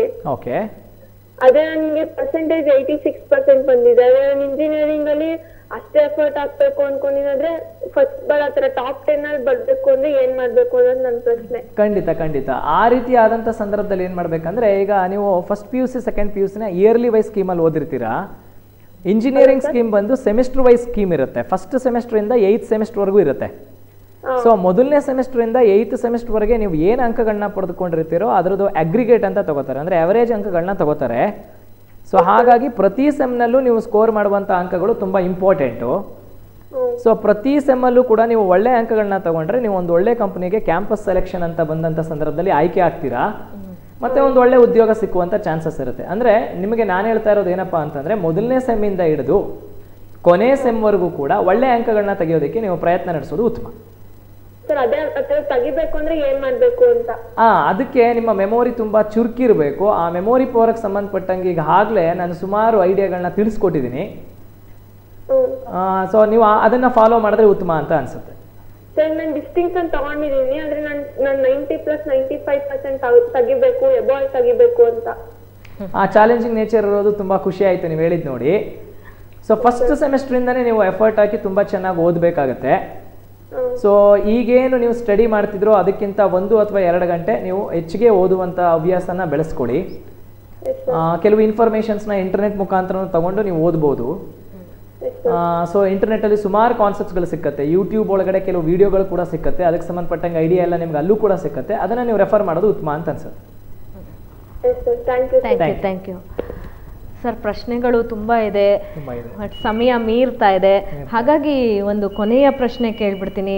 ಮೆಮೊರಿ ಪವರ್ ಬಗ್ಗೆ ತುಂಬಾ ಸ್ಟೂಡೆಂಟ್ಸ್ ಪ್ರಶ್ನೆನ ಕೇಳ್ತಾ ಇದ್ರು. ಇದನ್ನ ಇಂಪ್ರೂವ್ ಮಾಡ್ಕೊಳ್ಳೋದಕ್ಕೆ ವಿದ್ಯಾರ್ಥಿಗಳಿಗೆ ಕೆಲವು ಟಿಪ್ಸ್ ಅನ್ನ ಹೇಳಿ. ಖಂಡಿತ ಮೇಡಮ್ ತಿಳಿಸ್ಕೊಡ್ತೀನಿ. ಮೊದಲನೇ ಬಾರಿ ಮೊದಲನೇದಾಗಿ ಎದ್ದ ತಕ್ಷಣ ಅವರು ತಣ್ಣೀರಿನಲ್ಲಿ ಮುಖ ತೊಳಿಬೇಕು ಮೊದಲನೇ ಅಭ್ಯಾಸ. ಎರಡನೇದು ಹಲ್ಲುಜ್ಜೋದಕ್ಕಿಂತ ಮುಂಚೆ ಒಂದೆರಡು ತುಳಸಿ ಎಲೆಗಳನ್ನ ತಿನ್ನೋದು. ಮತ್ತು ಮೂರನೇ ಅಭ್ಯಾಸ ರಾತ್ರಿ ಮಲಗೋ ಸಂದರ್ಭದಲ್ಲಿ ಒಂದು ಲೋಟ ಹಾಲಿಗೆ ಅರ್ಧ ಸ್ಪೂನ್ ಜೇನುತುಪ್ಪ ಹಾಕೊಂಡು ಕುಡಿಬೋದು. ಅದರಿಂದನೂ ಕೂಡ ಅವ್ರ ಬುದ್ಧಿಶಕ್ತಿ ಹೆಚ್ಚಿಸುತ್ತೆ. ಇದರ ಜೊತೆಗೆ ರಾತ್ರಿ ಮಲಗುವಾಗ ಒಂದೆರಡು ಮೂರು ಬಾದಾಮಿ ಕಾಯಿನ ನೆನೆಸಿಟ್ಟು ಬೆಳಗ್ಗೆ ಎದ್ದು ಆ ಬಾದಾಮಿ ಕಾಯಿನ ತಿನ್ನೋದ್ರಿಂದನೂ ಕೂಡ ಅವ್ರ ಮೆಮೊರಿ ಪವರ್ ಇನ್ಕ್ರೀಸ್ ಆಗುತ್ತೆ. ಇಷ್ಟಲ್ಲದೆ ಪರೀಕ್ಷಾ ಸಂದರ್ಭಗಳಲ್ಲಿ ಆದಷ್ಟು ನಾನ್ ವೆಜ್ಗಳನ್ನ ಸ್ವೀಟ್ಸ್ಗಳನ್ನ ಐಸ್ ಕ್ರೀಮ್ಸ್ಗಳನ್ನ ಅವಾಯ್ಡ್ ಮಾಡೋದು ಭಾರಿ ಉತ್ತಮ ಅಂತ ಅನ್ಸುತ್ತೆ. ಮತ್ತು ಈ ಬಬಲ್ ಗಮ್ನ ಅಗಿಯೋದು ತಪ್ಪು ಅಂತ ಹೇಳಲ್ಲ ಆದರೆ ಅದರ ರಸ ಹೋದ್ಮೇಲೂ ಕೂಡ ಹಗಿತಿರ್ತಾರೆ ಸೊ ಅವಾಗ ಏನಾಗುತ್ತೆ? ಎರಡೂ ಸೈಡು ನರಗಳು ಹಿಡಿದು ಎಳೆದಂಗೆ ಆಗ್ತಿರುತ್ತೆ. ಅಂದರೆ ಎಲ್ಲ ನರ್ವಸ್ ಸಿಸ್ಟಮು ಬ್ರೈನಿಗೆ ಕನೆಕ್ಟ್ ಆಗಿರೋದ್ರಿಂದ ಬ್ರೈನ್ ಮೇಲೆ ನಾವು ಪ್ರೆಷರ್ ಹಾಕಿದಾಗ ಮೆಮೊರಿ ಪೋರ್ ಡಿಕ್ರೀಸ್ ಆಗುವಂಥ ಚಾನ್ಸಸ್ ಇರುತ್ತೆ. ಸೊ ಹಾಗಾಗಿ ಇದಿಷ್ಟೂ ಅವರು ಅನುಸರಿಸೋದ್ರಿಂದ ಎಕ್ಸಾಮಿನೇಷನ್ಸ್ನಲ್ಲಿ ಉತ್ತಮ ಅಂಕಗಳನ್ನ ಅವರು ಖಂಡಿತವಾಗ್ಲೂ ಗಳಿಸ್ಬೋದು ಅಂತ ಹೇಳೋದಕ್ಕೆ ಇಷ್ಟಪಡ್ತೀನಿ. ಹಿತಮಿತ ಆಹಾರ ಸೇವಿಸಿದ್ರೆ ಖಂಡಿತ ಮೆಮೊರಿ ಪವರ್ ಇನ್ಕ್ರೀಸ್ ಆಗುತ್ತೆ. ಅನ್ನುವಂತಹ ಮಾತು ಹೇಳಿದ್ರಿ.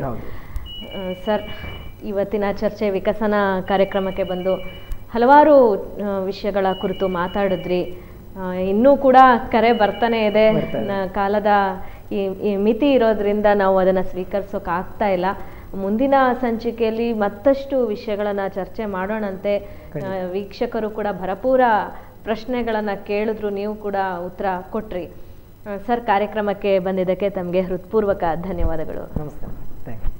ವೀಕ್ಷಕರೇ, ಇದಾಗಿತ್ತು ವಿಕಸನ ವಿಶೇಷ ಕಾರ್ಯಕ್ರಮ. ಮುಂದಿನ ಸಂಚಿಕೆಯಲ್ಲಿ ಮತ್ತಷ್ಟು ವಿಷಯಗಳನ್ನು ಚರ್ಚೆ ಮಾಡ್ತೀವಿ. ಸ್ವರ್ಣ ಟಿವಿ, ಇದು ಬಾಂಧವ್ಯಗಳ ಬೆಸುಗೆ. ವಂದನೆಗಳು.